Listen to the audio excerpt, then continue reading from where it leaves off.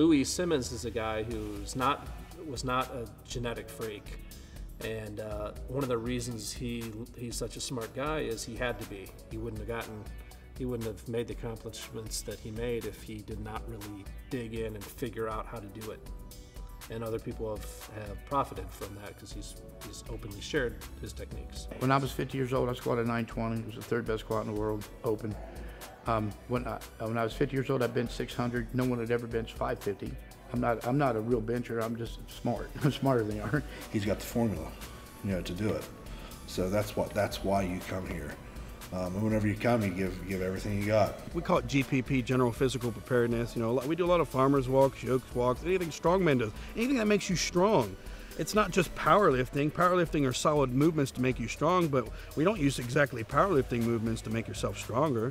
And I mean, it's do what it takes to make yourself stronger, whatever that may be. In a monthly plan for the squat, for instance, they do 80 speed squats and they do 12 max effort.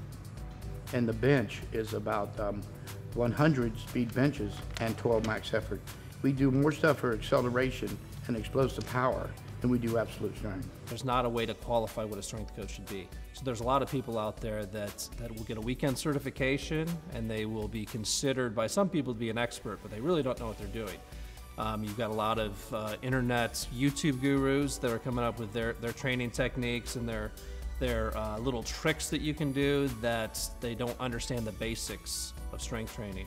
Uh, therapists, they don't have cuts and scars on them. I don't think they know anything. All you therapists out there. I mean, we've we've had people complete rupture patella tendon at a 900 pound squat in one year, squatted 1,000 pounds in a contest. Went up, had a guy that had a 744 squat, ruptured both patellas, both quad tendons. His name's Jim Hoskinson. In nine months, he squatted 890, but he went on from that 744 to 1107. I trained wrong for 12 years. I broke two lower backs. First, one was on crutches for 10 months. And uh, no one was going to fix me. And I actually discovered a reverse hyper exercise. And later on, got my first patent actually not till 92. No one knew much about it, and I kept it a secret. And I have five patents on a reverse hyperextension.